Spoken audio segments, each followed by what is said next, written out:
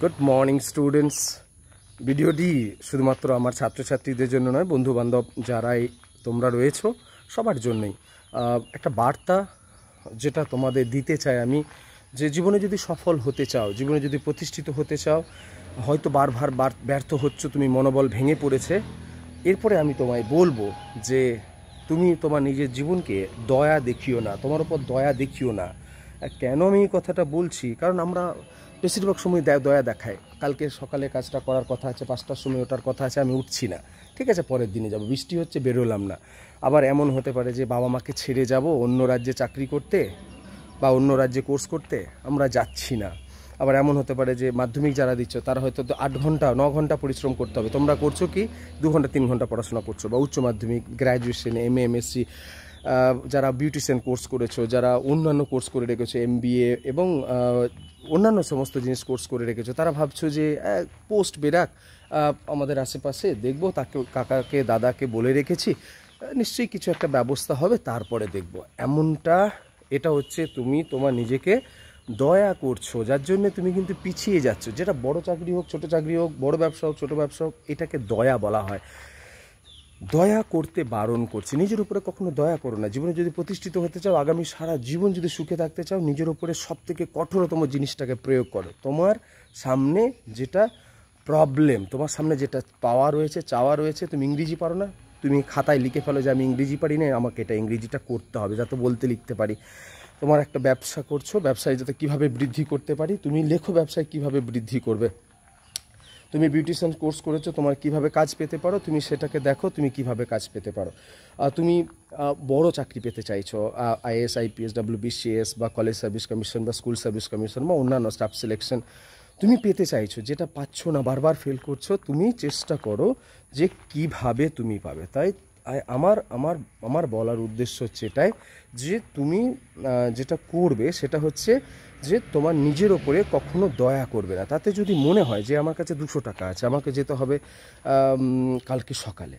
তো এটা ভয় খেও না যে টাকা কি করে ম্যানেজ হবে। তুমি বেরিয়ে পড়ো, তোমার নিশ্চয়ই কিছু না কিছু বন্ধু বান্ধব বা অন্যান্য কারও না কারও কাছ থেকে ম্যানেজ হয়ে যাবে। শুধুমাত্র ওই দুশো টাকার জন্যেই যেন দুশো টাকার জন্যই যেন তোমার ওই জার্নিটা নষ্ট না হয়। ধরো ফর্ম ফিল আপের সময় ফর্ম ফিল আপের সময় আমরা দেখি যে ধরো অনেকের কাছে টাকা থাকে না, যার জন্য আমরা ফর্মটাই ফিল আপ করতে পারি না। অনেকজনকে দেখেছি, চাকরির ফর্ম ফিল আপ হোক বা কোনো কোর্সের ফর্ম ফিল আপ হোক। আমার কাছে তো স্যার টাকা ছিল না, তার জন্য ফিল আপ করতে পারিনি। একদম না, একটু চারদিকে যদি চোখ নাক খোলা রাখতে, দেখ, দেখতে তোমার এই সমস্যাটা মিটে যেত। এই জন্যই বলছি, তুমি এগুলোর উপর দয়া করো না। বেরিয়ে পড়ো বাড়ির থেকে, যদি মনে হয় যে আমার বাড়ির বাইরে গিয়ে যেতে হবে। যদি মনে হয় যে বাড়ির বাইরে গিয়ে আমাকে টানা এক- মাস, দু মাস, তিন মাস, পাঁচ মাস, দশ মাস আমি বাড়ির লোকের সঙ্গে যোগাযোগ করতে পারব না, কিন্তু আমি জীবনে প্রতিষ্ঠিত হয়ে যাব। চলে যাও। করো। নিজের উপর দয়া করো না। আটটা, নটা আটটা, নটা পর্যন্ত অনেককে ঘুমাতে দেখি। একদমই না। কখনো কখনো দেখি যে আটটা, নটার মধ্যে রাত্রিবেলায় ঘুমিয়ে পড়ে, একদমই না। দশ ঘণ্টা যারা যারা প্রস্তুতি নিচ্ছ, মাধ্যমিক, উচ্চ মাধ্যমিক, তাদের রীতিমতো আট, দশ ঘণ্টা পড়া উচিত। এবং যারা অন্যান্য চাকরি প্রস্তুতি নিচ্ছ, একদম চোখকার নাক বুঝে মোবাইলকে সরিয়ে দিয়ে রীতিমতো প্রস্তুতি নাও। তাহলে কিন্তু তোমরা তোমরা সেই জায়গাতে কিন্তু পৌঁছাতে পারবে। কারণ এটা কি হচ্ছে? বেশিরভাগ সময় আমরা আমাদেরকে দয়া দেখাচ্ছি যে, না, শরীরটা খারাপ, কালকে যাব না পরশু দিন যাব। অনেক ক্ষেত্রেই এটা দেখা যাচ্ছে। এই কোর্সটা করেছি, ওখানে গেলে একই ব্যাপার, কি হবে? এখানে দেখি কিছু যদি পেয়ে যাই। এই ধরনের মানসিকতাকে তুমি ত্যাগ করার চেষ্টা করো। আর যেটা যেটা করবে, সেটা হচ্ছে যে বেসিক জিনিসটাকে ফলো করার চেষ্টা করবে এবং বেসিক জিনিস ফলো করলে কি হবে?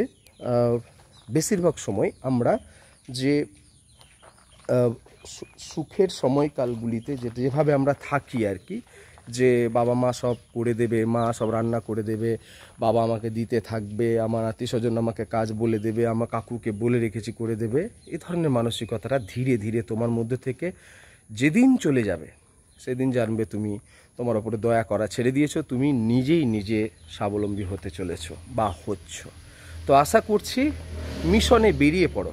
পশ্চিমবঙ্গ, পশ্চিমবঙ্গের বাইরে যদি তোমার ব্যবসা, চাকরি, কোর্স মনে হয় যেটা করছ, এটা আমি খবর নিয়েছি, এটা আমার খুব দরকার, এটা করলে আমি জীবন প্রতিষ্ঠিত হয়ে যাব। বেরিয়ে পড়ো, দয়া করো না, আর আলস্যতা দেখিও না, কারণ এখন এটা সময় নয়। জীবনে এই সময়টা একটু মেহনত করে নাও, সারা জীবন সুখ পাবে। আশা করি আমার কথাগুলি তোমাদের মনে থাকবে, কাজে লাগবে।